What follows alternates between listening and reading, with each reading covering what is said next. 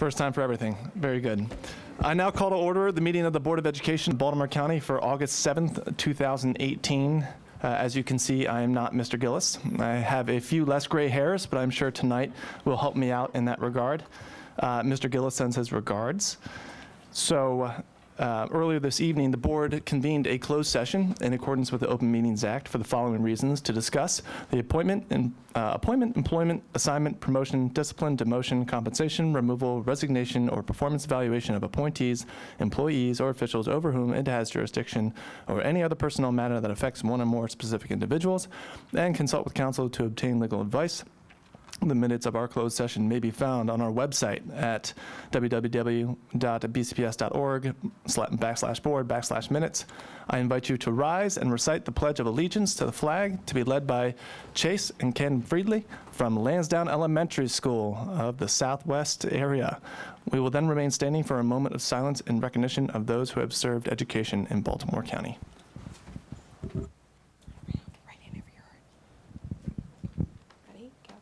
I pledge of allegiance to the flag of the United States of America and to the republic for which it stands, one nation, under God, indivisible, with liberty and justice for all.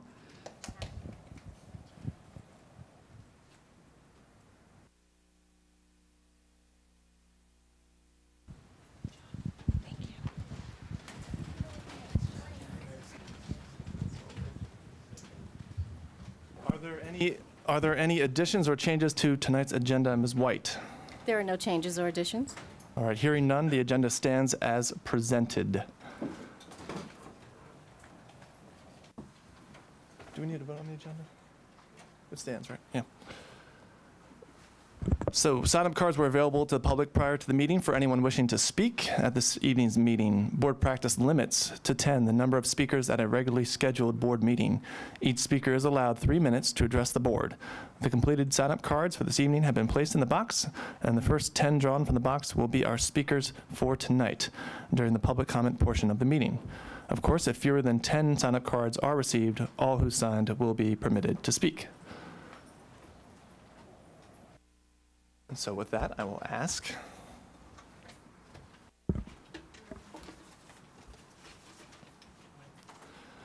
Our first speaker is David Green. Second is Megan Berger. Third is Dr. Bash Pharoan. That is it, folks.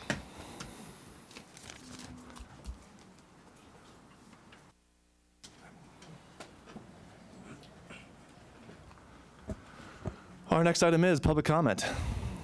This is one of the opportunities the board provides to hear the views and receive the advice of community members. The members of the board appreciate hearing from interested citizens. As appropriate, we will refer your concerns to the superintendent for follow-up by her staff.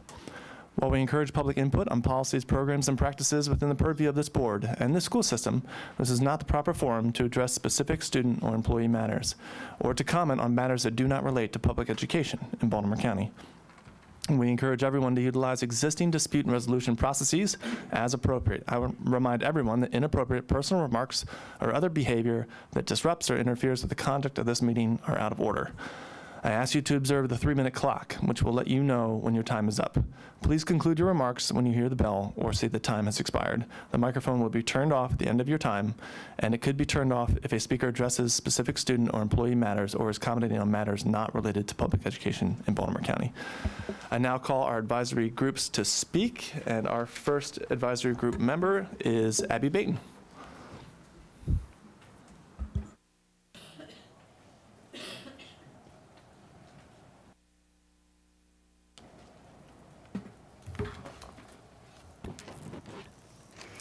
Good evening, Vice Chairman Stewart, Ms. White, and members of the board.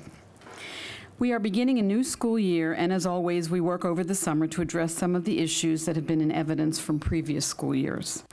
Discipline has been one of the most persistent problems on which we must place much, much of our focus. The number one concern I hear from teachers across the board at all levels is discipline. The issue is pervasive not only in our schools, but in our neighborhoods and throughout society.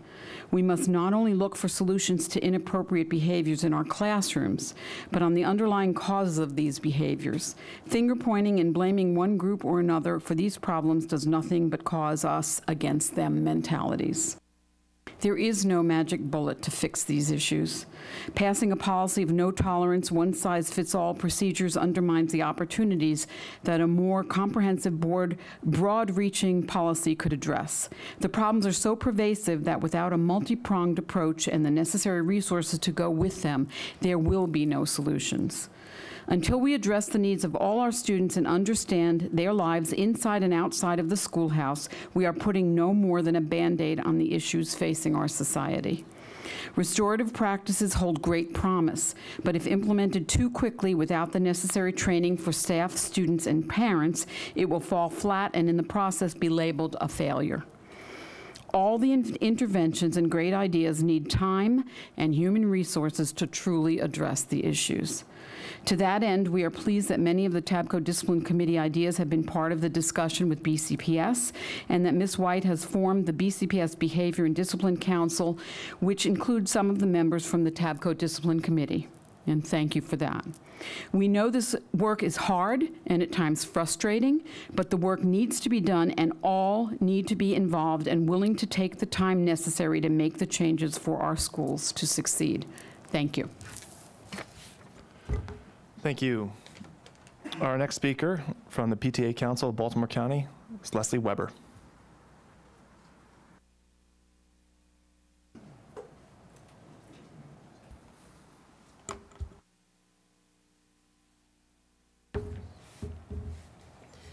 Good evening, Vice Chairman Stewart, Board of Education members, and Ms. White.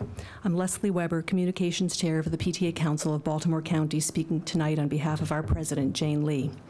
We were happy to learn last week that the new Baltimore County Cares for Kids program will offer free breakfast and lunch to 7,000 students now qualifying for free and reduced, redu- reduced price meals. This is definitely a step in the right direction. The hitch with the new program is the fact that the meal eligibility form is still required. We know as longtime advocates with a presence in schools all over the county that many children slip through the cracks. Either their families don't qualify for FARMS, even though they're barely making ends meet, or perhaps they're afraid to or unable to fill out FARMS paperwork. This is especially true in high poverty schools. Right before the new program was announced, we reached out to PTA presidents at the 51 schools eligible to implement the Community Eligibility Provision, or CEP urging them to advocate for the program. While it's fantastic that thousands of students will receive free meals through the new program, thousands more would benefit from CEP, a federally funded program offering free breakfast and lunch to all students at eligible schools. If CEP were implemented at the 19 schools immediately eligible, the cost would only be 1 million per year. For the 51 schools, the cost would be about 3 million per year. Both are actually small percentages of the BCPS's $1.8 billion operating budget. We know that BCPS cares deeply for the students in its care. We know that teachers, administrators, nurses, guidance counselors, social workers, office and cafeteria staff, and classmates often feed hungry children. We applaud after meal, after-school meal programs, summer feeding programs, and backpack programs like Food for Thought in place in some schools.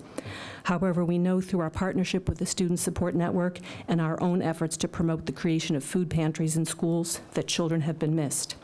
This patchwork of efforts proves that a comprehensive, multi-pronged, system-wide approach to addressing food insecurity is needed. CEP would help reach many of the hungry children who are lost in the shuffle. Please take a closer look at adding on to the Baltimore County Cares for Kids program by expanding CEP based on information shared with BCPS board by Maryland Hunger Solutions and the Student Support Network. The deadline to implement CPE for this school year is September 4th. We'll repeat what we stated at the July 10th meeting. PTA Council believes that CEP is a key part of the community school wraparound services model. Meeting children's most basic needs and supporting their families have been proven to create the stability needed to increase academic achievement. Thank you. Thank you. Our next speaker from the Council of Administrative and Supervisory Employees is Tom DeHart.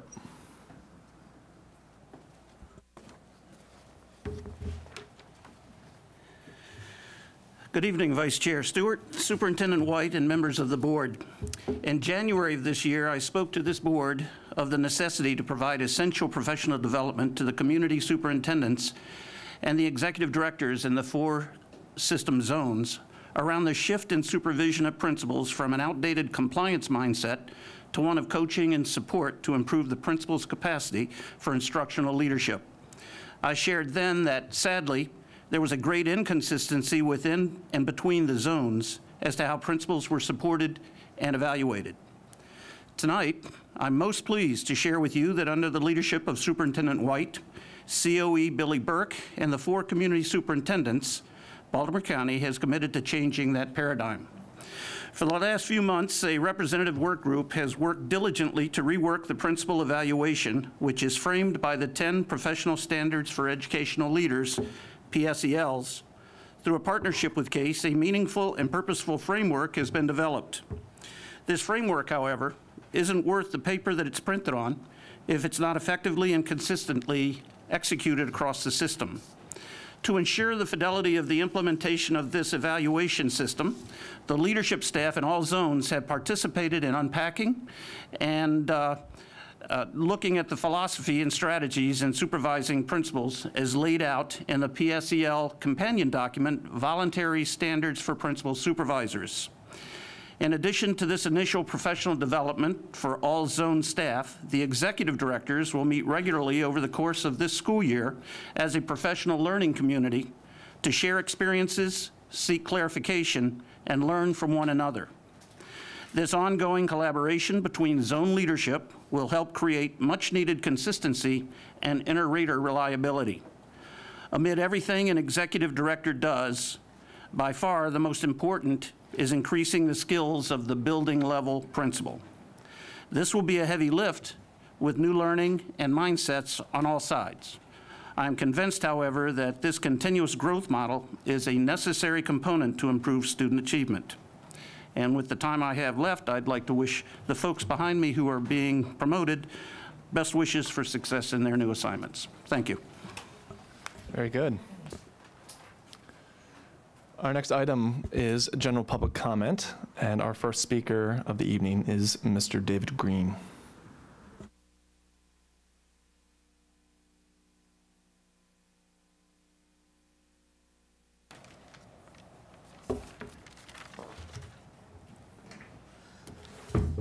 Good evening. I'm going to do three things tonight. I'm going to list a few reasons in favor of keeping Verletta White as the permanent superintendent. I'm going to list some challenges that she faces and some things she might do to win over the critics on the board and elsewhere. Um, In favor, Ms. White has a de- a deep knowledge of BCPS, long and deep. She's very intelligent, communicates well, works very, very hard, would provide continuity in the coming years where there's going to be a lot of board change, and she's liked and trusted by many. I'm going to skip over what the critics have said, um, but there's one other thing I like about what she has done in the past, and in defending herself uh, here, at one point she said how important it was to look outside BCPS and the schools of education to find solutions to the problems that we have. And I'm 100% in agreement with that um, because a lot of the innovations we've had um, have come from elsewhere. So that's very important. So, but, but Ms. White, you've, uh, you've been dealt a difficult hand. A lot of it comes from top-down policies from higher levels of government. No Child Left Behind, Race to the Top, Dear Colleague letters, single single-minded focus on AP tests as a measure of our school systems. And as Abby Beytin just said, um, one of the things that faces you now is pressure to do a one-size-fits-all focus on restorative justice. So you have a big, huge challenge here. So what might you do to win over your critics on the board and elsewhere? Um, One thing I think you need to do um, is criticize the worst of the top-down policies wherever they come from. Second, I think you need to drive out fear among your troops below you. I think there's a fair amount of it, and there's way too much. And uh, that's a shout out to W. Edwards Deming, and if you don't, if you haven't heard from him, look it up. I think you need to engage your critics, um, including those on the board, but also those who voted with their feet to leave the school system to go to homeschooling, parochial schools, or private schools. I think you need to work very, very hard to find common ground with your, your critics. And there are two areas, I think, that where it's critical to do this. One is stat, and of all the people um, in BCPS, you are in the best position, I think, to know what the weaknesses of stat are.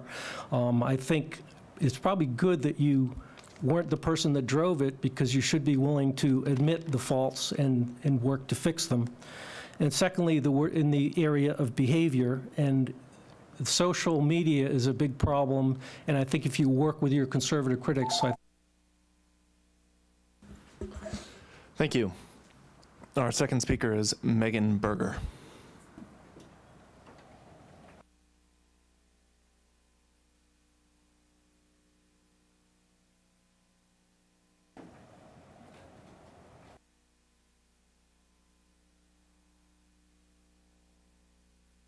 Hi, am I allowed to share my three minutes with my colleague?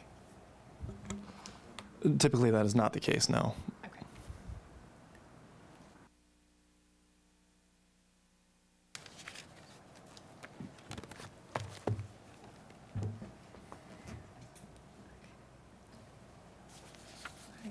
Good evening. My name is Megan Berger. I'm an attorney at Disability Rights Maryland.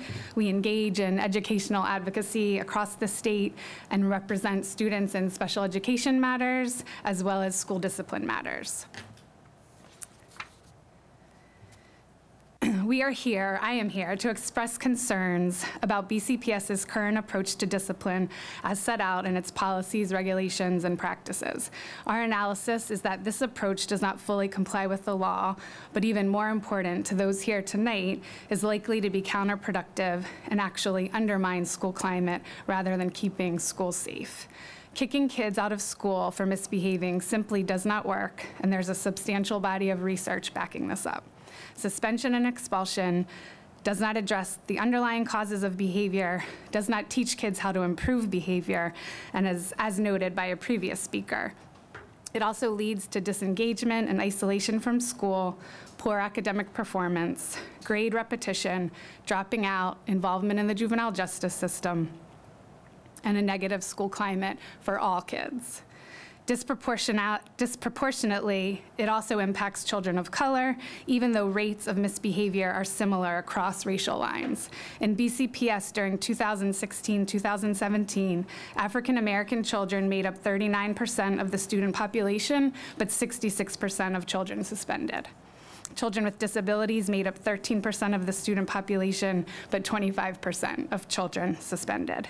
These are not just theoretical problems. We see them with our clients in BCPS every day, and we hope that you'll have the opportunity to hear from them throughout the course of this coming school year.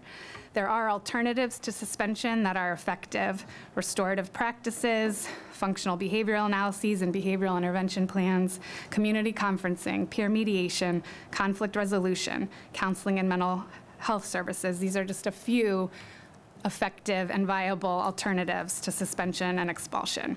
The state has moved forward by passing regulations in 2014 to move away from zero tolerance, but BCPS has lagged behind by not fully implementing them. We are concerned that BCPS school discipline policies do not align with the law. We've sent a letter addressing our concerns to members of the board and are encouraged by the response we received. We look forward to providing future comment on school discipline policies and procedures. Thank you. Thank you. Our third and final speaker is Dr. Bash Pharoan.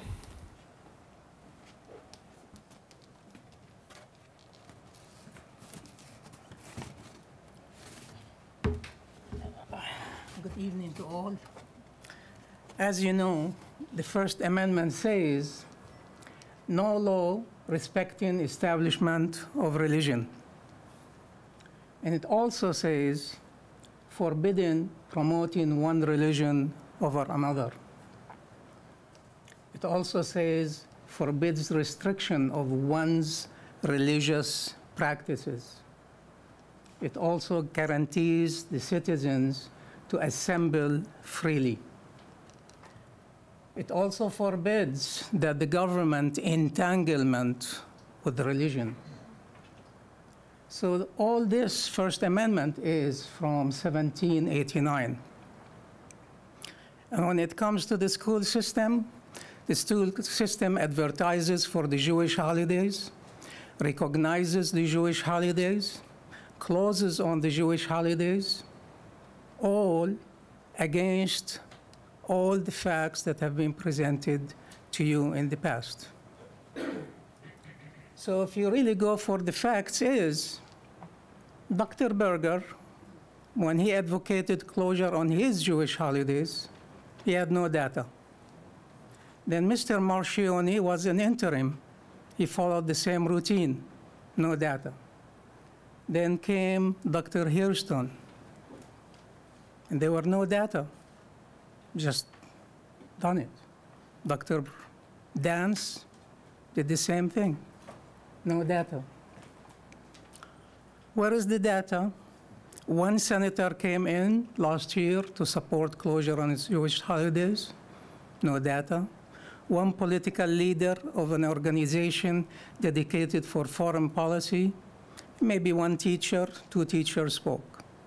All that versus 1,000 plus Muslim American residents that came to this Board of Education since 2004.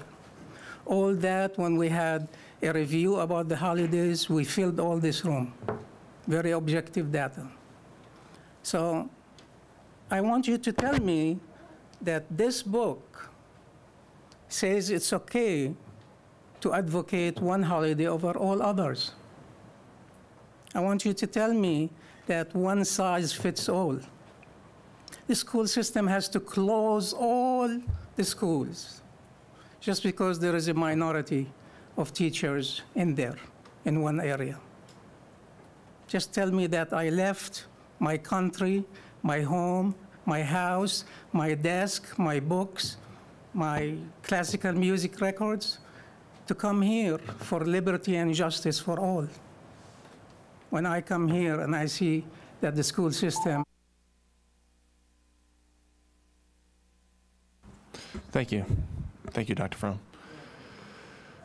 Can I leave this with you as an exhibit? Just not right there. You can probably put it to the left over there for tonight. Uh, Absolutely. We'll do that later, though.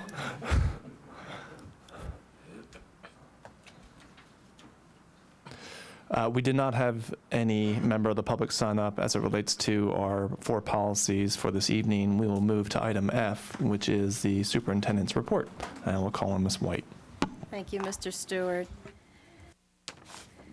So I would like to take some time to talk about the Baltimore County Cares for Kids program. As we look ahead to our next uh, wonderful school year, I am so pleased to share that students at all schools who qualify for free or reduced price meals will receive breakfast and lunch at no cost to their families throughout the Baltimore County Cares for Kids program. The Baltimore County Cares for Kids uh, program is a thoughtful, system-wide solution that provides meaningful benefits to families while protecting Title I funding for our schools and protecting students from losing the supplemental benefits that come with free and reduced price meal eligibility. Some advocates have recommended expansion of the community eligibility provision, or the CEP, to certain schools, which would further affect our Title I schools and would cause individual students to lose supplemental benefits that I will describe in just a moment. While Baltimore County Cares for Kids supports all of our schools, expanding the CEP is not a system-wide solution for BCPS. So what are those supplemental benefits? A family of four earning $46,435 uh, or less annually is eligible for so much more than just a meal. Benefits include fee waivers for the following: the ACT, advanced placement exams, CCBC, college applications, and college athletics, as well as fee waivers for retaking the SAT, which is offered to all BCPS grade 11 students at no cost during the school day. In addition, families eligible for free or reduced price meals may apply for low-cost, high-speed internet at home and low-cost internet-ready computer uh, through the Internet Essentials from Comcast.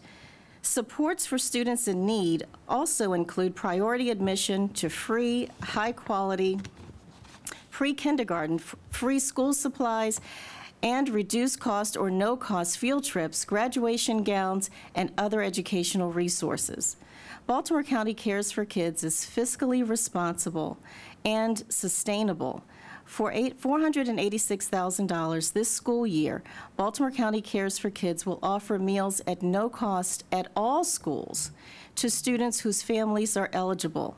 The Maryland Cares for Kids Act, which is legislation signed by Governor Larry Hogan in May 2018, will fully replace county funds with state funds by FY 2023. I want to thank our school staff who worked closely, who, who continue to work closely with our families to emphasize the new and continued benefits of meal eligibility, as well as acknowledging our community advocates. I encourage our community partners to join us as we expand awareness of the benefits of applying for free and reduced priced meals, benefits that extend, of course, beyond meals. I'd also like to take this opportunity to thank our staff members for their hard work this summer and for their commitment to students. Many times over the summer, and I'm just going to uh, switch gears to our summer programs, many times people think that the learning stops or that the work stops for the summer, but we know that that isn't the case. We have so many staff members who do incredible work over the summer, from curriculum writing to engaging in professional development to making sure that our buildings are ready and that they're in top-notch shape and condition for the return of students. And so much learning occurs as well when it comes to students in our extended year programs as well. So tonight's video will highlight uh, some of that that go, occurs in the summer. And again, hats off to everyone involved in the CEP process. I know that our teams got together, worked so hard since that legislation passed in May. Uh, we've been working diligently to make sure that we have a solution to provide for kids who need it the most and for our families who need it the most. And our team has gone out of their way to make sure that coming through this coming school year, we'll work with our counselors and our PPWs. Remember that our budget in our budget, we talked about people for our people. Well, we're going to put those people to work to make sure that we're reaching out to our families and letting them know that we can help them with filling out the form, making sure that they have awareness of the form, and that we can have the best of both worlds. We can make sure that no kid goes hungry, and we don't have to lose any benefits for our students, and we can protect our Title I funding as well. So hats off to our school-based and central office staff for working on such a comprehensive plan for all of our students. And again, thank you to all of our staff members um, for working with our students over the summer and to prepare for our summer, um, to prepare for our school opening. So if we can start that video, we can show a little bit about what happened this summer.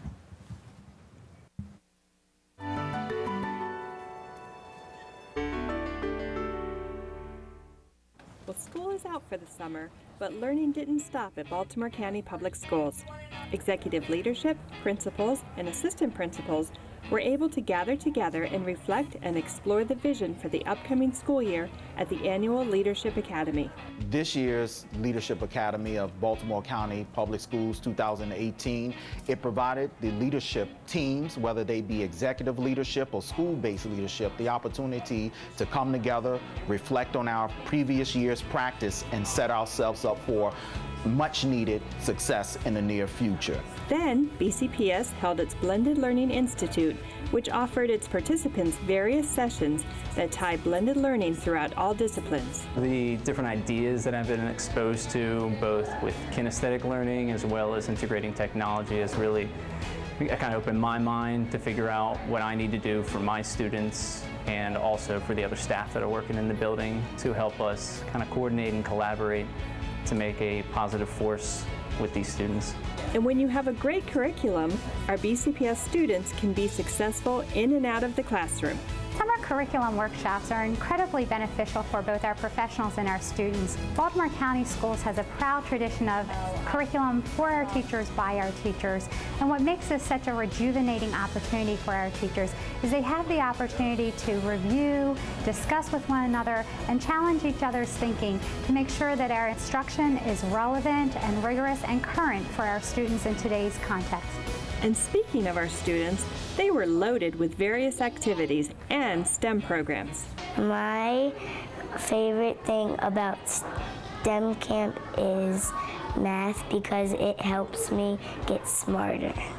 Then you had rising sixth graders who were afforded the opportunity to participate in a four week Love for Literacy program held at Catonsville Middle School.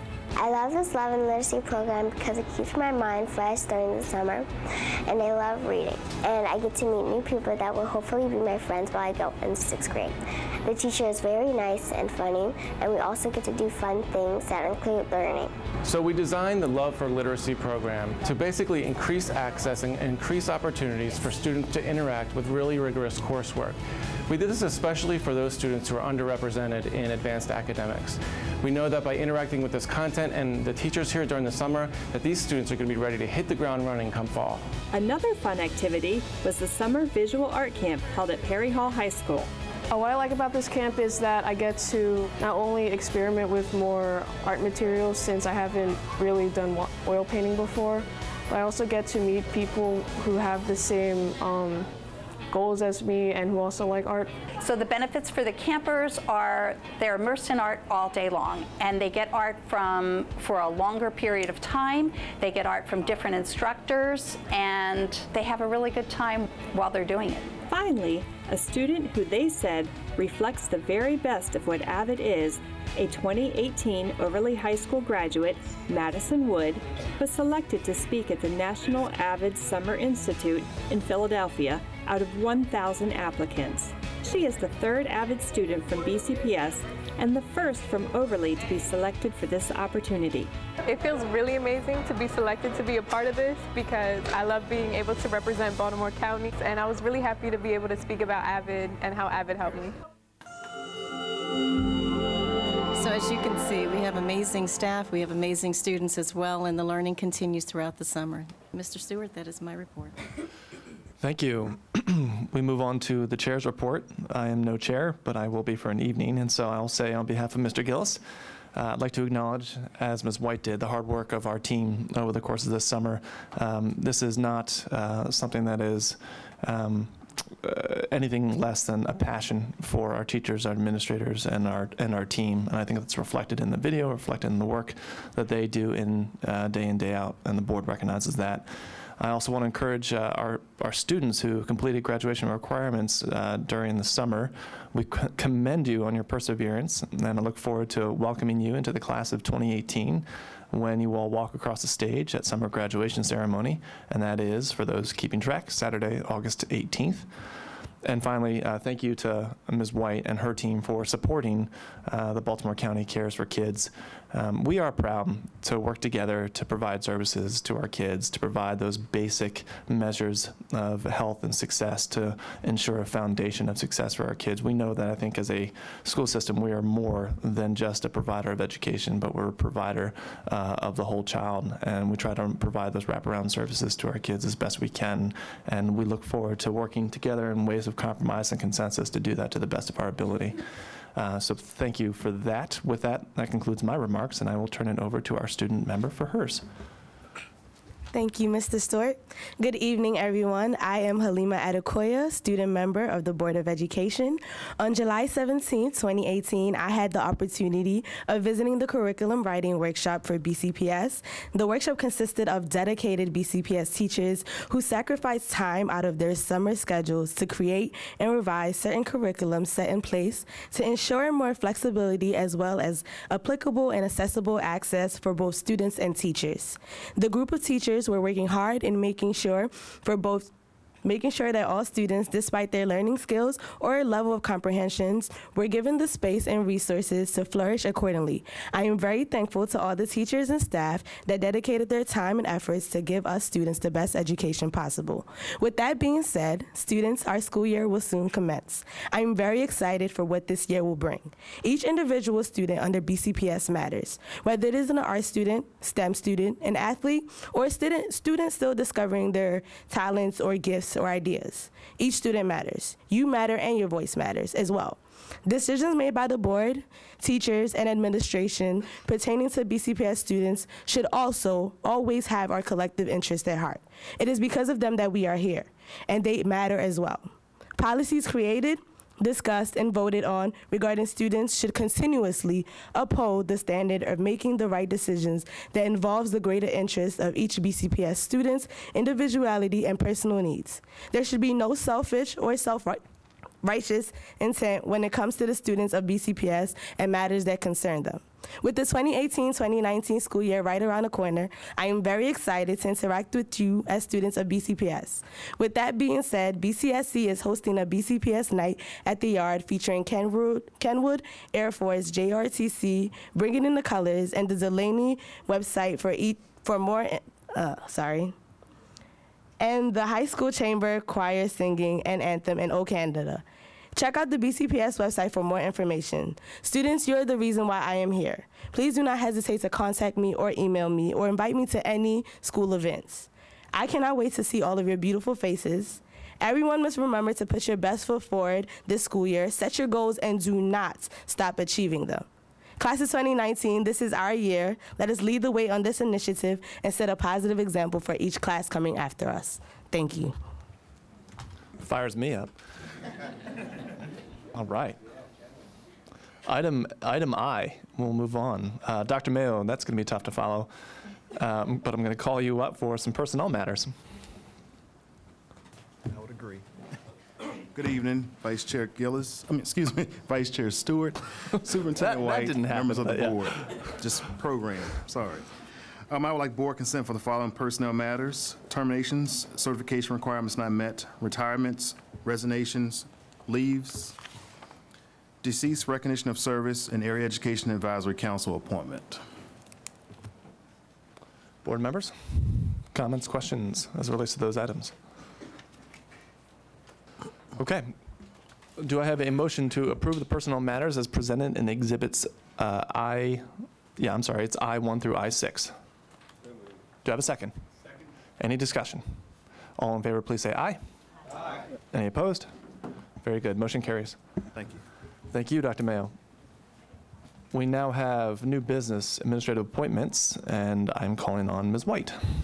Thank you, Mr. Stewart. Vice Chairman Stewart and members of the board, I would like to bring forward for the- your approval the following administrative appointments. Principal, Padonia Elementary School, Assistant Principal, Deer Park Elementary School, Assistant Principal, Dundalk High School, Assistant Principal, Edgemere Elementary School, Assistant Principal, Fort Garrison Elementary School, Assistant Principal, Maiden Choice School, Assistant Principal, Mars Estates Elementary School, Assistant Principal, Overlea High School, Assistant Principal, Parkville Middle School, Assistant Principal, Sussex Elementary School, Assistant Principal, West Towson Elementary School, Community Superintendent, Zone 1, Executive Director, School Support, Senior Operations Supervisor, Logistics, Office of Facilities Support Services, and Specialist Compliance, Office of Title I. Very good. Uh, Do I have a motion to approve the administrative appointeds- appointments as presented in Exhibit J? Do I have a second? Any discussion? All in favor, say aye. Aye. Any opposed? Motion carries.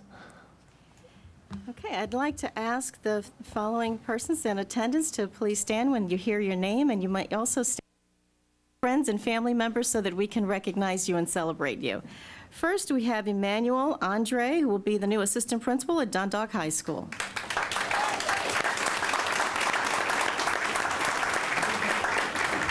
Do you have friends or family here with you tonight? I do indeed.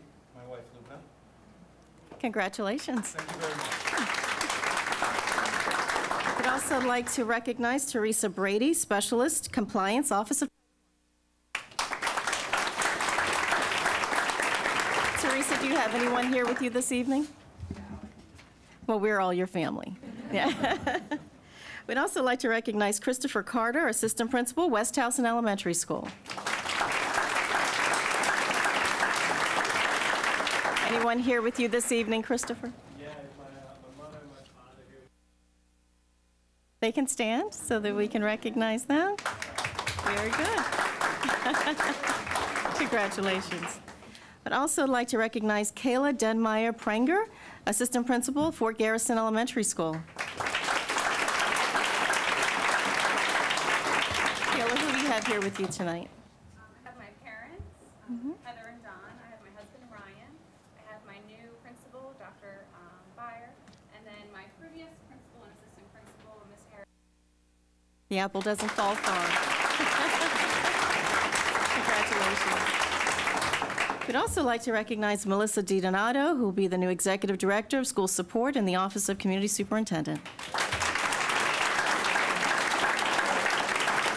Congratulations, Melissa. Who do you have here with you tonight?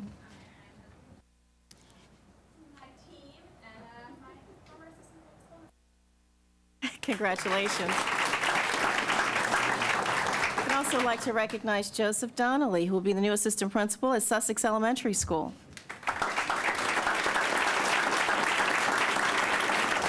Joseph, who do you have here with you tonight? Uh, my wife Kirsten and my new principal, Tom Bassett. Okay, very good. Congratulations. I'd also like to recognize Audra Lau- Audra Laurie Elick, who will be the Assistant Principal of Edgemere Elementary School. Audra, who do you have here with you tonight? My husband Nicholas and my former principal and friend, Chandra Patrick. Congratulations. We'd like to recognize Katie Fridley, who will be the Assistant Principal at Deer Park Elementary School. Who do you have here with you tonight? my children, Chase, Camden, and Colson, my parents, and my former AP, Liz Turner, and my friend. Beautiful. Congratulations. Good job, guys, on the Pledge of Allegiance, too, by the way. We'd also like to recognize Brittany Keith, who will be the Assistant Principal, Overlea High School.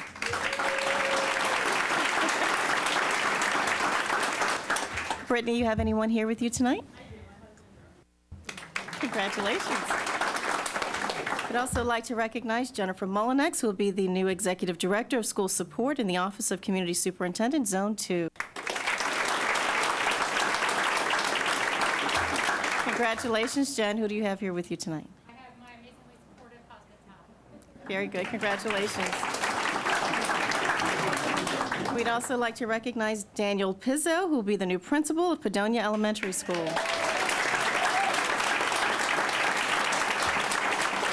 Dan, who do you have here with you tonight? Well, my family's supposed to be watching online, so.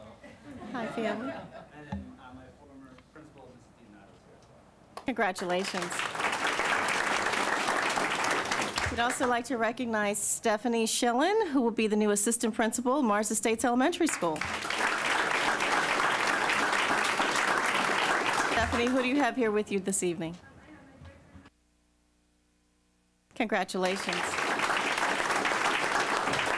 We'd also like to recognize Susan Truesdale, who will be the new executive director of school support, Office of the Community Superintendent. Sue, who do you have here with you this evening?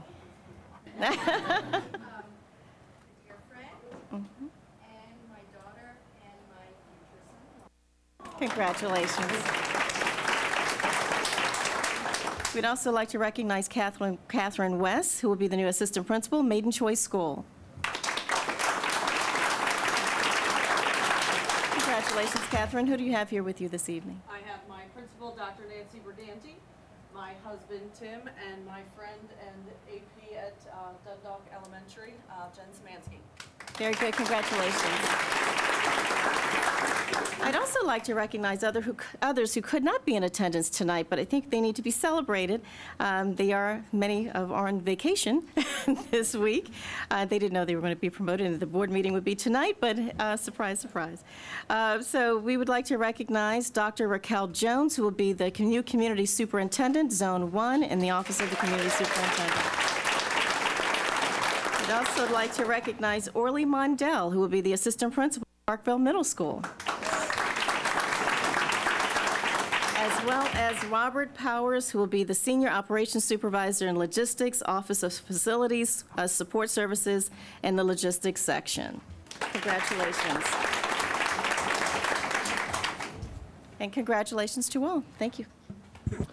Thank you. I think you have the best part of the meeting. So at this time, I'd like to call Mr. Nussbaum to our table. And if folks have dinner and so forth, please feel free. We usually take a moment. It always happens.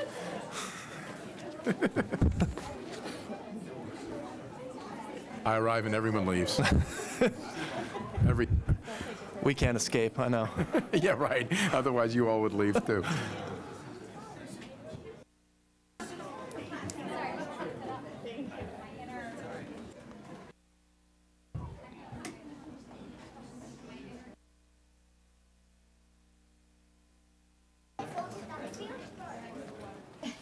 All right, we'll proceed.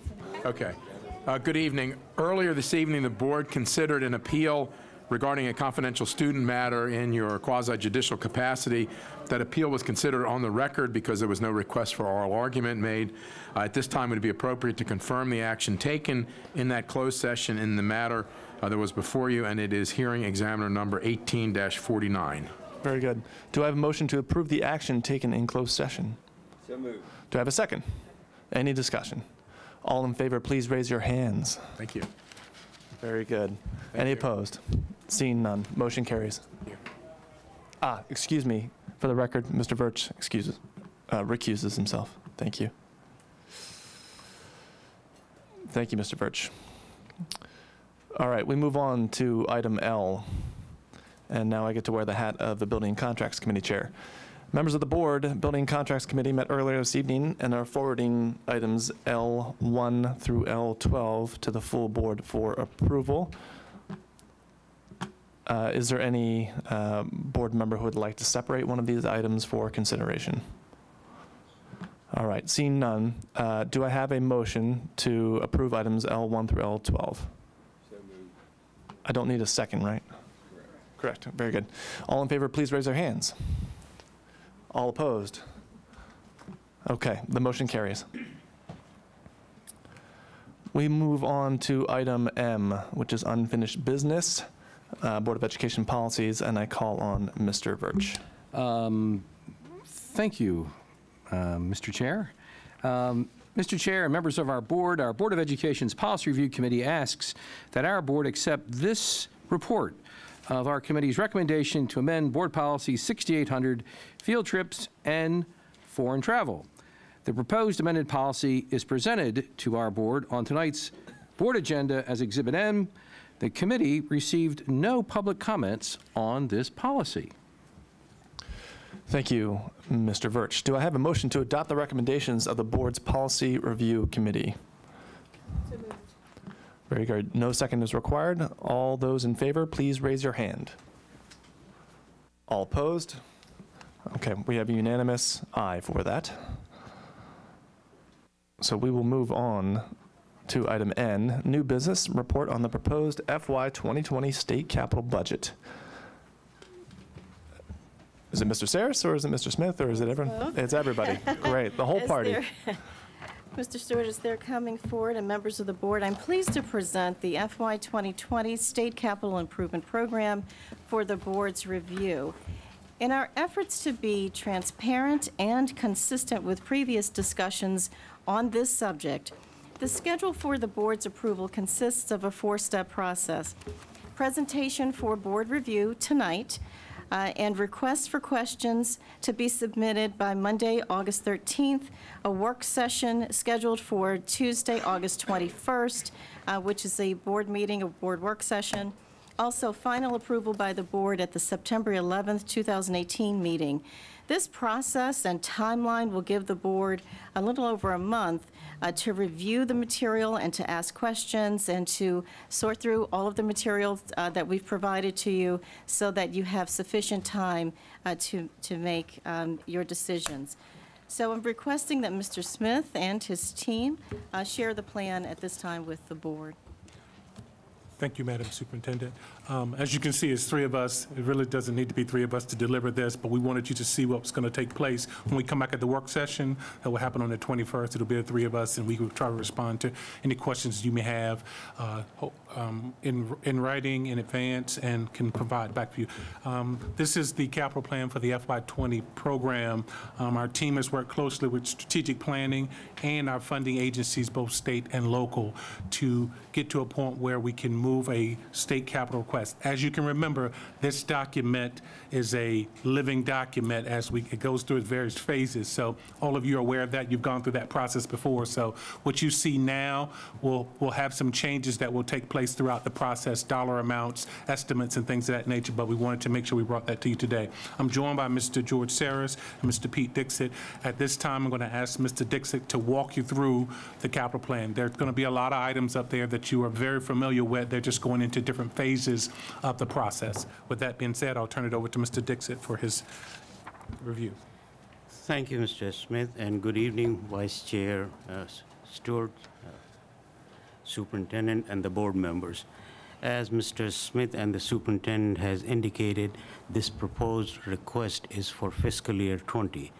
In the interest of clarity and transparency, uh, it is Superintendent's desire for me to go step by step and explain this.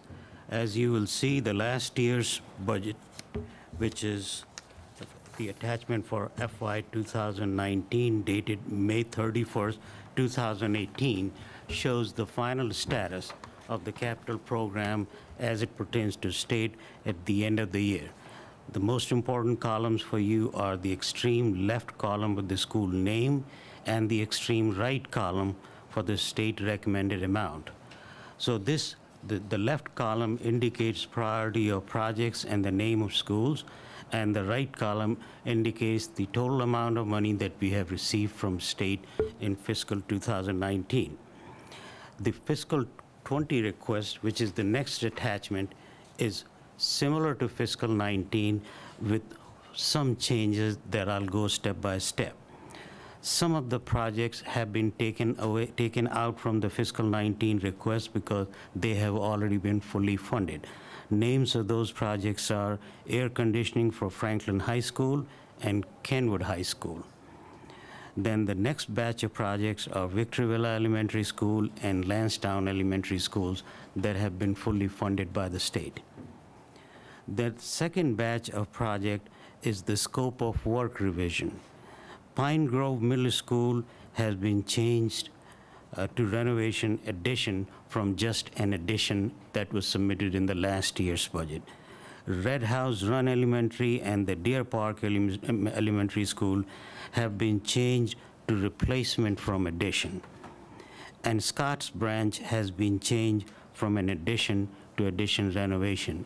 These changes have been made uh, because, as Mr. Smith indicated, it is a, a continuous living document, and as more and more information becomes available, we have a dialogue with our funding partners, and we change the status because it's in, in the interest of the school system, and it is more cost-effective to do so. The next set of changes is the removal of Fort Garrison because the latest projection numbers do not support uh, inclusion of that, uh, that, that project.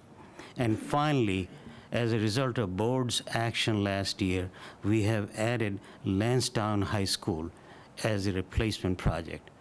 While we have added this project, I want to remind the board that there's a high school study going on, and we'll be sharing the results uh, of the, that study, study later on. Um, The next batch of projects are what we call systemic, and these are infrastructure improvements, which include roof re- replacement for four schools, which is Stoneleigh, uh, Holabird Middle, Deep Creek, and Church Lane Elementary School. These are the next on our list for, for roof replacement, and they are followed by boiler system replacement as Chase Elementary and Elmwood Elementary School. Also, the chiller replacement for the central air conditioning uh, for Timber Grove and Seneca Elementary School. These uh, projects and information along with the dollar numbers will be adjusted from time to time as more and more scope of the work is available and we'll be sharing with you in our next work session and update. Uh, We are requesting that any questions be submitted by August 13th uh, and we'll have the responses uh, during the work session. Thank you very much. Thank you. Okay, thank you.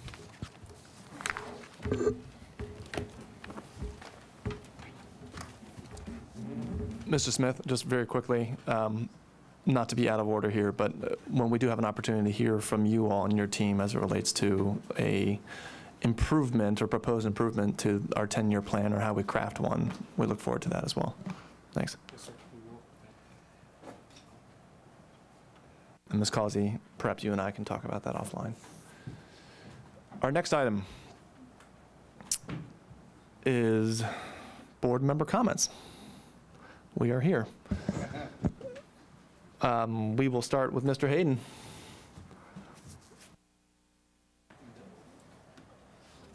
Since so many people have left, can I take the 45 minutes that I want to take? You would anyway, right? Come on. We've come through a- another year, gotten through it well, and thanks to our teachers and our staff, uh, we've done another credible job of educating children, which is our charge. Now, what can we ask for coming up? We can ask for the staff and the teachers to do an even better job. And um, that means more emphasis on those issues that we know are all out there, that we've talked about facing, and I think indeed that uh, we'll get to. So I'm looking forward to the upcoming year. Uh, I think there are a lot of challenges. It'll be a, a- just a, a great opportunity. Very good. Ms. Causey. Thank you, Mr. Chair. Um, It's been a long time since we've had uh, member comments, but I'm going to keep mine short. Um, I also want to thank our team, um, our staff, our 12-month employees who work diligently year-round, whether it's in instruction, leadership, uh, whether it's support for the schools or the teachers, whether it's facilities, ground maintenance, um, the many, many things that go on year-round. Especially, I want to point out all of the construction that's been going on this summer that's really going to be a benefit to our students and our teachers and our staff when we have opened uh, new schools and schools with additions and schools with renovations and schools with additions of central air conditioning. So I especially wanted to applaud um, all of our staff for working on all of those things that are going to help our students uh, this year, that are going to help our teachers be able to do a better job um, of providing instruction and the, and the mission of educating our youth.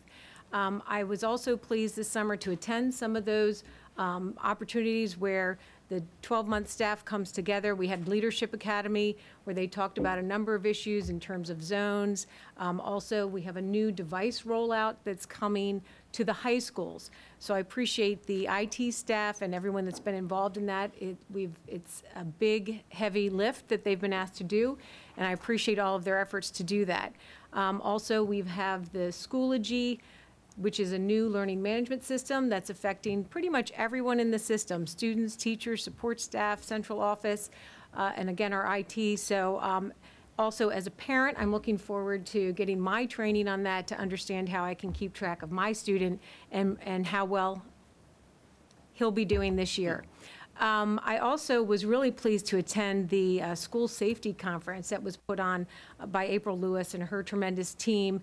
They are working constantly and diligently to protect our students, to protect our staff, to protect our school communities. And I'm so very grateful for all of the uh, new initiatives that they're working on, and I'm very pleased with that. And I think that they don't get the recognition that they uh, really deserve in all of the things that they're doing. I appreciate uh, the interim superintendent and her focus with people for our people that's going to allow those programs to make a positive impact on our students. Um, And as uh, was pointed out by Ms. Beytin, one of those issues is the discipline that needs to be continually improved. Uh, There are policies that are going to be looked at in October. Uh, I thank the board members that supported my motion in bringing those policies forward to start discussing them and see how we can improve those. And certainly, we're going to be taking into account the input from TABCO and the other discipline committees that are gathering input from our communities. Um, Also, I wanted to say that it's uh, very important for our stakeholders to email board members questions about the capital construction plan and uh, to be focused on that. Uh, Also, I'm very excited to attend the summer graduation. We have students that have been working very hard over the summer with their teachers uh, to get that final credit or whatever it was that they needed to walk across the stage. So we're very proud of them, and I'm happy to be involved in that. Um, The other issue is the high school capacity study. There's ongoing work that's available on our website. Um, And I would point out that uh, when we're looking at strategic plans, I've been advocating for uh, a comprehensive plan, which we're not doing, we're doing the high school capacity study, but I think it will behoove us to, in the future, to look at a comprehensive plan along the lines of Anne Arundel County Public Schools.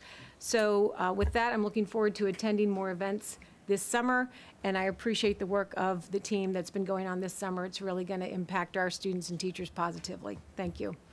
Thank you, Mr. Yulfelder. Thank you.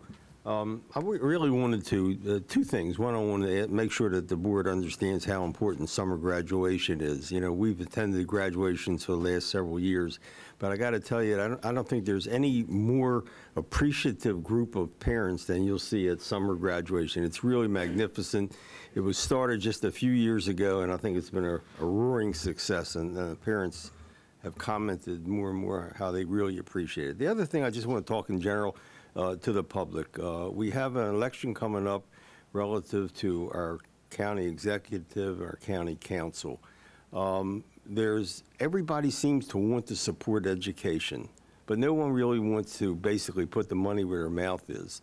And in order to support education and in order to support a program of building to accommodate the increased enrollment, uh, it's going to have to be funded. And uh, I would hope that when you talk to your those who are running for office, that you question them about how they intend to fund our programs. I said this many years ago. I still say it that the status of our buildings is a result of neglect over the last 25 and 30 years. And everybody talks about how good education should be and how we must take care of our students, but no one seems to want to pay the price for it. So just remember that when you talk to your uh, future uh, elected officials. Thank you. Thank you. Ms. Adekoya. Hello, everybody. Well, I just want to thank Team BCPS for its continuous work. It truly means a lot, especially as a student representative. I would just like to say for the upcoming school year, it shall be a great one. It shall be a great one. I'm looking forward to interacting with so many students and learning and gaining knowledge. And I just want to say, as a team, we must move forward. We must remember that we must look forward and not backwards. And we must work together as a community who has each other's backs because we are all we have as Baltimore County Public School System. Thank you. Mr. McDaniels. Thank you, Mr. Stewart. I'd just like to mention for a moment that two issues um, have risen to the forefront of our discussions and focus over the summer and the last few months. And, and those are um, one, feeding or expanding the nutritional opportunities for poor and hungry students, and the other is increasing the safety and school climate. And both of those issues really scream out for collaboration and effective action on the part of our board. Um, and I think if we, again, uh, look at those two items, they just scream out that we need to really work together and do some positive things to improve that. I applaud the system for uh, expanding the um, free breakfast and lunch for additional students. But I think the board is also interested in looking at the CEP program at the pilot schools that we have And um, I don't think we want to close the door to any opportunity that's going to enhance the um, nutritional options for our students. So we're going to leave everything open. And I don't think Ms. White is indicating in any way that we're not going to leave everything open.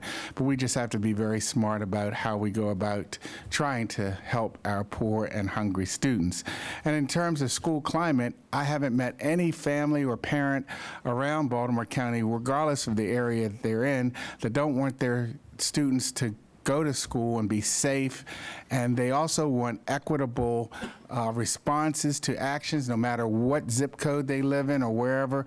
So I think, again, these are both issues that the board can work collaboratively with the system uh, and just keep I'm talking to myself here, keep an open mind to any solution that's going to make our uh, school system safer and um, uh, address the uh, issues that were so eloquently presented by um, Ms. Berger and Ms. Beytin tonight. I think there are a lot of perspectives that we have to consider when we talk about school climate.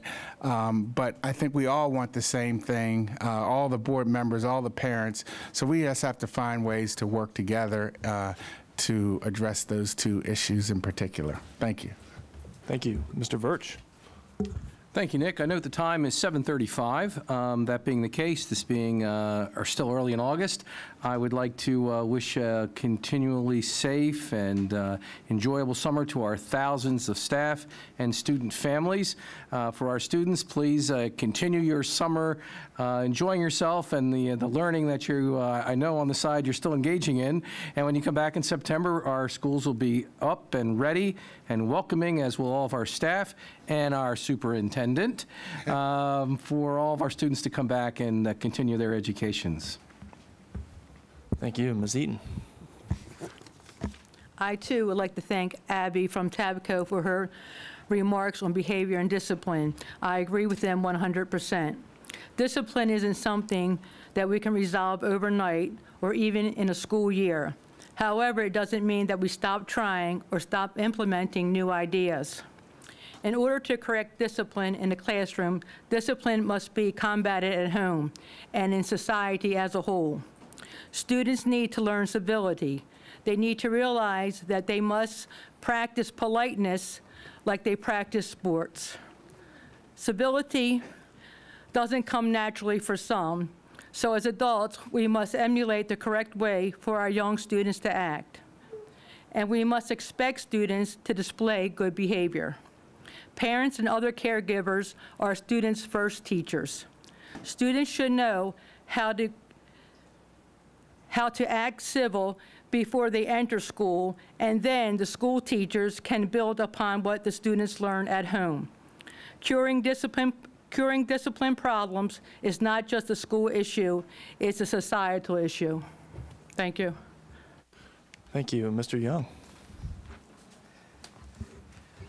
The great thing about being last is you can go on and on and on, at least until the people behind you turn off your mic.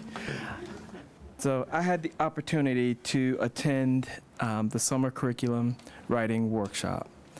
I went into the engineering section, of course, and I was quite impressed with what they were doing in there and the thoroughness that those teachers were showing in approaching it not just from a one-year plan, but laying the groundwork and foundation for it for engineering and coursework from middle school through the high school years. Um, so to those teachers, thank you. Thank you, Mr. Young. Uh, unfortunately for everybody, you weren't last. I'm just going to take a point of privilege here and share um, a couple remarks. We, I just take note that we have about four months left as the board is currently comprised. And I want to encourage us to think about the ways in which we want to be proactive as we run through the finish line as opposed to jogging or what have you. And I know that we as a board, and naturally so, have a tendency to be reactive to the things that are before us, but we also have an incredible capacity in this moment in time for the next few months to be proactive and to think ahead about the things that we want to get done collectively, and whether that's something like a 10-year plan that models Anne Arundel counties, or whether that's revisiting Muslim holidays, or whether it's college and career readiness and the website, Michael, looking at you, whether it's cultural proficiency or school start times and transportation, and having the sense of where that's going and maybe making a decision on that front, performance management, the next generation thereof. We have opportunities in front of us. I just encourage us to, to take advantage of that and to try to get it done um, in the time that we have left. It is, in fact, a blessing, and um, we're going to work towards it. That's all I have for this evening. Um, and so we have some information that's posted on our website, but I can now say that the next Board of Education meeting is scheduled. Mr. Hayden. I would really like, uh, Mr. Stewart, if you would leave Mr. Gilliss a few notes on how handle length of the It will be noted in the record. Uh, The next meeting of our board is scheduled for Tuesday, August 21st, 2018, at 6:30 PM. The meeting is adjourned.